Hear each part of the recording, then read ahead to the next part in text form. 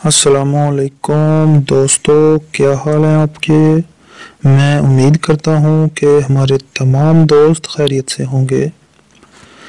दोस्तों, आज जो है रिश्ता मैं आपके लिए लेकर आया हूँ। उससे पहले एक छोटी सी हमारी गुजारिश है कि हमारे चैनल को सब्सक्राइब करें और बेल के आइकॉन को भी दबा दिया करें, ताकि हमारी आने वाली हर नई से नई वीडियो का नोटिफिकेशन आसानी से आप तक पहुँच जाए और हमारा साथ यूँ ही बना रहे।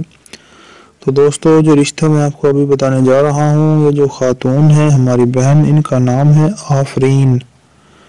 आफरीन जो है इनकी उम्र है चौवालीस साल फोर्टी फोर ईयर्स चालीस बरस। तो आफरीन जो है ये एक तलाक़ याफ्ता खातून है। और मैं आपको एक बात बताता चलूँ कि ये दो बार तलाक हो इनकी हो चुकी है हाँ, तो अभी जो है, पहली जो तलाक हुई थी, वो तकरीबन उसे आठ साल हो गए हैं, और दूसरी जो तलाक हुई थी उससे जो है अभी तकरीबन चार साल से जायद का अरसा हो चुका है।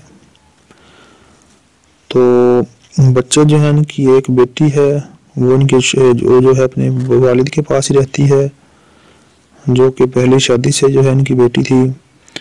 तो नाफरीन जो है, इनकी तालीम जो है, ये एफ़ ए तक पढ़ी है, यानी कि बारह जमात पास हैं, अच्छे ख़ानदान से हैं और इस वक्त इस्लामाबाद सिटी में रहती हैं।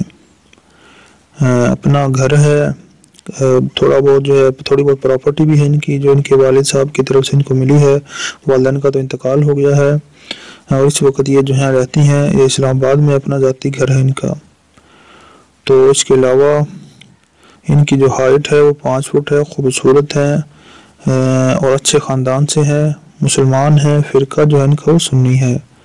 तो वो हमारे दोस्त मर्द हजरात जो इनसे रबता करना चाहते हैं, शादी के बारे में बात करना चाहते हैं वो बर मेहरबानी अपनी तमाम तर तफसीत के साथ अपना मोबाइल नंबर वीडियो के नीचे कमेंट बॉक्स में लिख दें।